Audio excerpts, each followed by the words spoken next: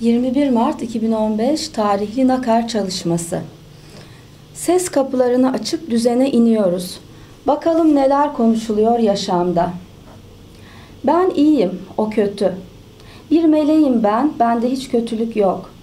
Ben iyiyim, kötü diye bir şey yok ki. Ben ne iyiyim ne kötüyüm, nötrüm ben. Ben iyi de iyi, kötü de çok kötü olurum. Dünya kötülüklerin merkezidir.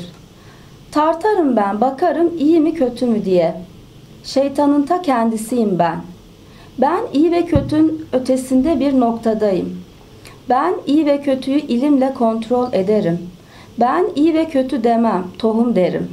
İyi ve kötü kokuyu yükseltir. İyi ve kötü insanın yüreğidir.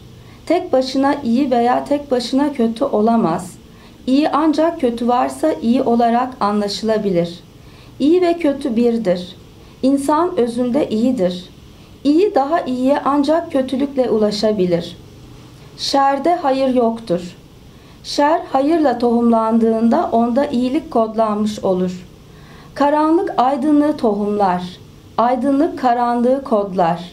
Yaratım karanlık ve aydınlık arasındaki yaşamın daimiyetidir.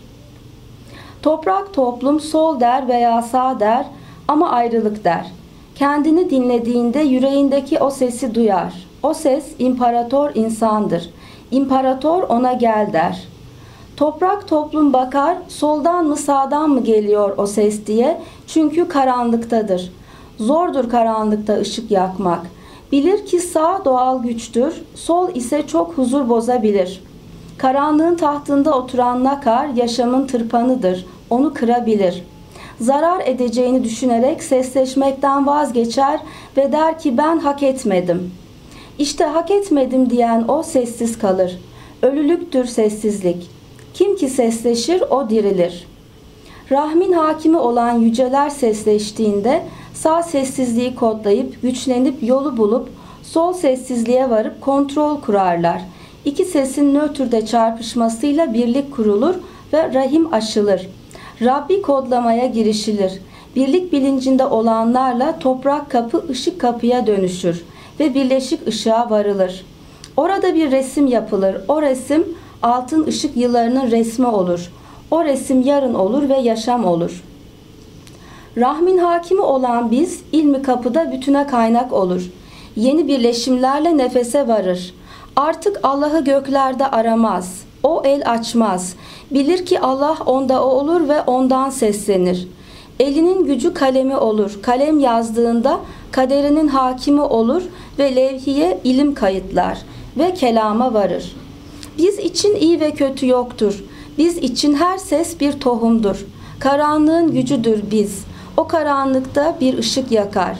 İşte o negatifi açar, aşar ve pozitifte kodlama yapar. İş budur. Tanrılık ışığı ile çalışan ilmi hak olan ışık kod, nefesin ötesinde bütünün kürzi kapılarında insanlık ilmini tohumlar ve kodlar.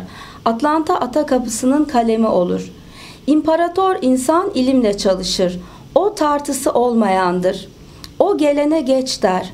Halk onu yüreğindeki ses olarak bilir. Bugün halk bu bilgileri bizle okudu. Bilen kendini okudu. Okumanın ötesinde olanlar biliş halinde kötüyü kontrol ettiler. Bilmeyen ise kelamında okudu. Kur'an olan insan ise herkesle kendi olup kontrollü olarak okudu. Herkes geçti. Dünya insanı tek bir ışık oldu ve geçti. İş buydu, işte bu. Amin. Amin.